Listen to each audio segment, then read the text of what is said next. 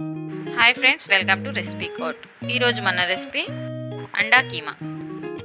ముందుగా కావలసిన పదార్థాలను నోట్ చేసుకోండి. ముందుగా ఉల్లిపాయలు టమోటాలు కొత్తిమీర పచ్చిమిర్చీలను తరిగి పెట్టుకోవాలి. ముందుగానే ఉడికించి పెట్టుకున్న కోడిగుడ్లను వీడియోలో చూపిన విధంగా తురిమి పెట్టుకోవాలి. మా వీడియోని మొదటిసారిగా చూస్తున్నట్లయితే సబ్స్క్రైబ్ చేయండి పక్కనే బెల్ ఐకాన్ ఉంటుంది ప్రెస్ చేయండి. తర్వాత స్టవ్ ఆన్ చేసుకొని ప్యాన్ పెట్టి మూడు టేబుల్ స్పూన్ల సన్ఫ్లవర్ ఆయిల్ను యాడ్ చేసుకోవాలి.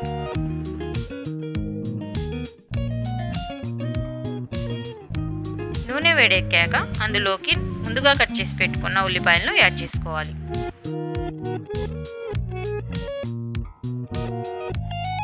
ఉల్లిపాయలు తొందరగా వేగాలంటే అందులోకి కొంచెం సాల్ట్ వేసి ఒకసారి కలుపుకొని మూత పెట్టేయండి.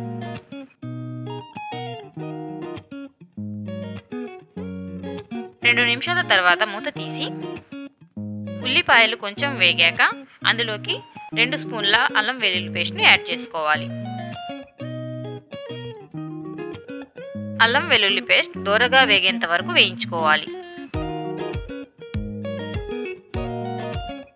ఇప్పుడు అందులోకి మధ్యలోకి చీల్చి పెట్టుకున్న పచ్చిమిర్చిలను యాడ్ చేసుకొని కట్ చేసి పెట్టుకున్న టమాటాలను కూడా యాడ్ చేసేసుకోండి.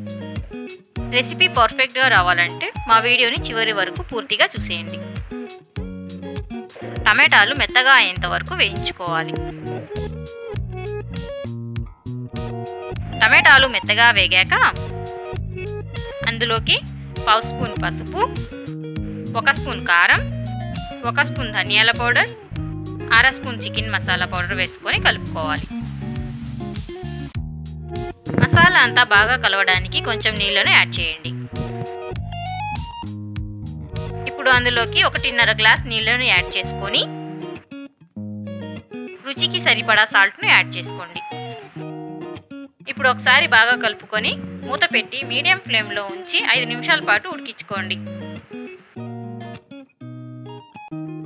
ఐదు నిమిషాల తర్వాత మూత తీసి గ్రేవీ ఉడికిందో లేదో గమనించుకొని ఒక ఐదు నిమిషాల పాటు ఉడికించుకోండి. తర్వాత అందులోకి ముందుగా తురిమి పెట్టుకున్న ఎగ్ పీసెస్ను యాడ్ చేసేసుకోండి.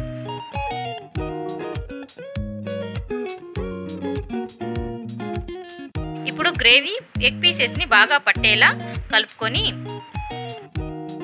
మూత పెట్టి మీడియం ఫ్లేమ్లో ఉంచి ఐదు నిమిషాల పాటు ఉడికించుకోవాలి.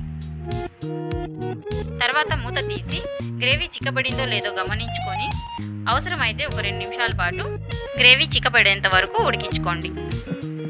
ఈ రెసిపీ చపాతీలోకి చాలా టేస్టీగా ఉంటుంది. మీరు కూడా తప్పకుండా ట్రై చేసి నాకు ఒక కామెంట్ పెట్టేయండి. గ్రేవీ చిక్కపడ్డాక ముందుగా తరిగి పెట్టుకున్న కొత్తిమీరను యాడ్ చేసుకొని ఒకసారి బాగా కలుపుకొని స్టవ్ ఆఫ్ చేసి సర్వ్ చేసుకోండి. మా వీడియో మీకు నచ్చినట్లయితే సబ్స్క్రైబ్ చేయండి లైక్ చేయండి మరియు షేర్ చేయండి. Thank you for watching.